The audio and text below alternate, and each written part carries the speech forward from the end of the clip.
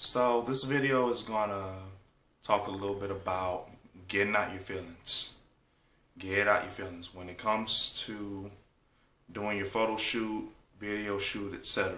When it's your time, it's your time. You, you got to leave whatever drama, you know, negative feelings behind you, out of the way. Like when you're doing your shots.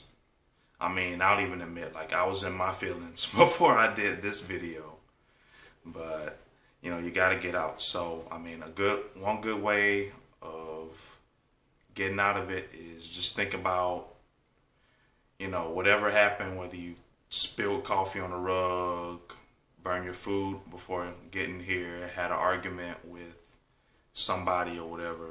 Just think about this photo shoot is going to be so much better.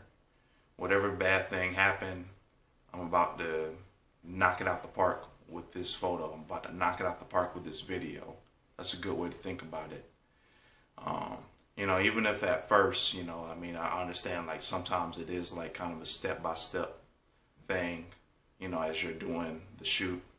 I mean, just think about your favorite thing to do. Think about your favorite color. Think about your favorite spot to eat, about the last time you were at um, Disney World, or just something positive, something positive to keep that smile. And I promise, like once you learn how to do that, your photos, your videos are going to come out amazing. I guarantee.